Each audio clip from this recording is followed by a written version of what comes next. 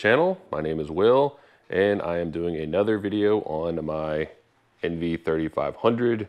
The Beast is a 2019 model, and uh, earlier I did an LED headlight upgrade, which I am extremely happy with. So I figured I'd go ahead and wrap up the front end and do an LED fog light upgrade.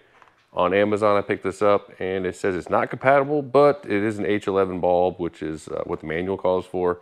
It looks appropriate, but I won't know until I actually get underneath the car, pull the fog light out, and then uh, compare it with this. I picked up an Ox, it, AUXITO LED bulb. Um, I mean, it looks super fancy, so hopefully it's functional. And as you can see here, pretty much you get the two bulbs and a little instruction manual. Um, nothing crazy. And you see they got these nice little heating uh, dissipation fins on here and a angled LED on the tip of like a spear point. So hopefully these uh, these actually plug in and fit. That might be my issue, might not have clearance, but I'm gonna go ahead and uh, head over to the van here. And as you can see here, here are the fog lights. Typical halogen bulbs. It is daylight out now. I'm gonna go ahead and start the car up and uh, just see how they look in the daylight. I'll actually uh, splice in a video of the fog lights uh, from last night and see what they look like at dark, and then I will get these installed if they fit. And then uh, tonight I will uh, do a final video and show how they look at dark. I did get the 3K, uh, which is the amber yellow bulb color, which is perfect for fog because the yellow will actually cut through the fog light. Whereas if you got uh, some super white or something like that, it will actually deflect back into your eyes and be pretty much useless in the fog. So that's why I went with the uh, amber 3K color. And the trick with this is you pretty much have to, have to go underneath the bumper and then you'll be able to reach around, unplug the fog light. It turns to unlock, pull it out. We'll take a look at it and compare it with the uh, LED bulbs. So I'm gonna go ahead and get the car started up first real quick, take a look at the fog lights, how the light look. Here are the uh, fog lights lit up, of course, at daytime. You can see, I mean, not super bright by any means. Have the uh, typical halogen dull yellowish color uh, not actually truly yellow, it's more just a dull white, uh, warm white or something like that, kind of like a antique room lantern. So it really doesn't really push very far and really don't help much in fog or really anything. They're almost pointless uh, with this kind of illumination. I'm gonna go ahead and get this ball pulled out and we'll take a look at it. And you can see the back of the uh, fog light housing right here, kind of behind that wire. Not super accessible, especially for how big of a car it is, but I'm gonna have to kind of snake my hand up through here and pull that plug off and then I'm going to twist. It's a twist unlock, twist to lock bulb. I'm gonna pull the bulb out and then we're gonna take a look at it. I'm going to have to set the camera down and then we'll jump back when I have the bulb out just so I can use both my hands and kind of squeeze in here without losing any fingers. OEM bulb and housing on the right here and then the new LED one on the left. If you look at it, they appear to, you know, it's got the three prong, three locking prongs, so it should snap in. And the trick with these are when you go to unplug this, uh, the, the wiring harness from this, you actually have to pull the tab upward, don't push it in. Pull it upward, it'll come unclips from this little nub here, and then you can pull the bulb right out. Not too difficult, I had plenty of room once I put the camera down, and uh, yeah, everything came out pretty simple.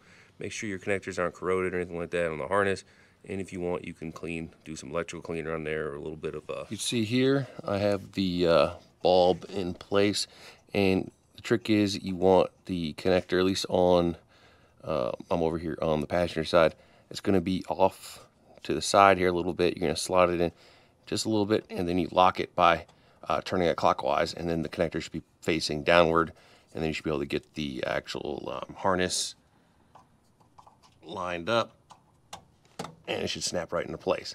we'll go ahead and get the car started back up and we'll look at the fog light and then see if we can do comparison. Of course, it'll be a daylight comparison between the halogen on the driver's side and the uh, new LED on the passenger side.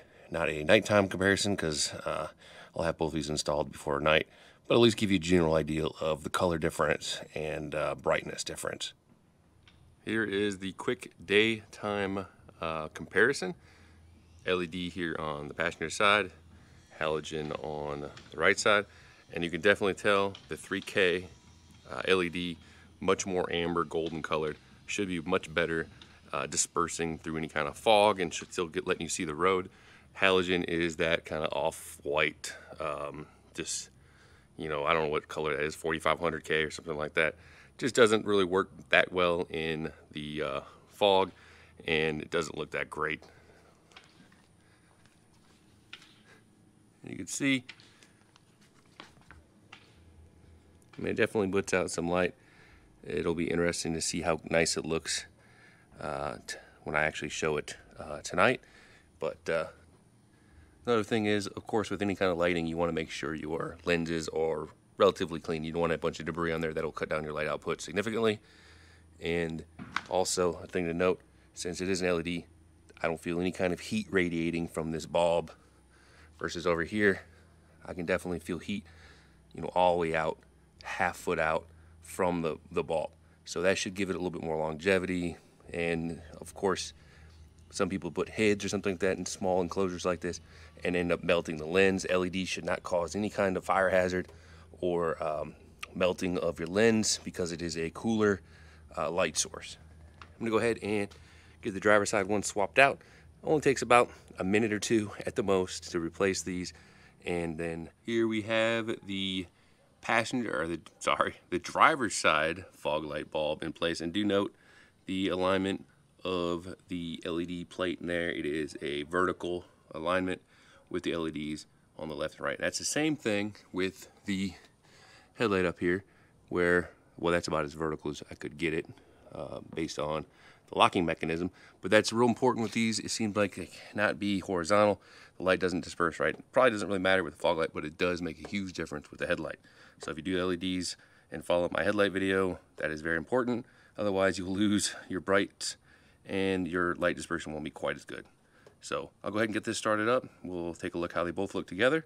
And then we'll come back uh, this evening and then see how the fog lights look uh, tied together and how good the light output is definitely should be an improvement, especially in any kind of misty or rain or fog type settings, because that 3000 um, color light is just significantly better than super whites, which seems like a lot of people go with, which actually are worse, or just the off white that the OEM comes with. There we have it. Both the driver and passenger side fog lights have been installed. As you can see, uh, it's much brighter and definitely much more yellow amber, which is optimal for uh, those bad weather conditions, mist, uh, rain, fog, and whatnot. And also they burn much cooler, should be less of an overall power draw and uh, much less uh, heat. So it should they should last, being LEDs, significantly longer than halogens.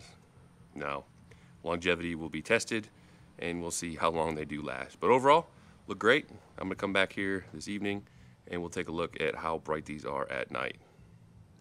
Go. Nighttime, finally, and I can see the fog lights. They turned out uh, pretty good and they definitely cast quite well as you can see here the yellow tint here I mean, you can see it all the way up on the bottom of the garage door. All that is lit up. The halogens, I mean, they would get a few feet in front of the car and that was it. So, huge improvement. Definitely should be awesome in the rain, fog, or any kind of funky weather. And uh, they look nice and bright and sharp. So, happy with the setup and hopefully they last. That's the big question, and don't burn out or have issues or electrical problems. But I feel pretty confident that these will work out long term.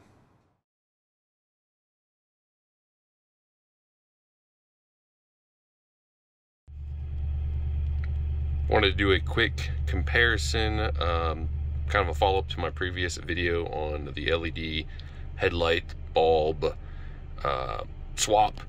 And I did go back after finding the manual and rotating the bulbs as indicated more of a vertical with LEDs on the uh, sides instead of the LEDs on the top and bottom. And it significantly improved the light output. I mean, the light output was already great, but the pattern wasn't super clean. And by rotating it as the manual indicates, uh, as you can see, pattern is very smooth, no real, no blotches, which didn't really have before, but it definitely cleaned it up. And the big change is the brights actually are bright. Before, they didn't really change what you saw. They looked almost the same as low beams. Now, high beams actually do have uh, additional reach and actually function like high beam. So I wanted to add that to this video and just kind of show the difference kind of as a follow-up.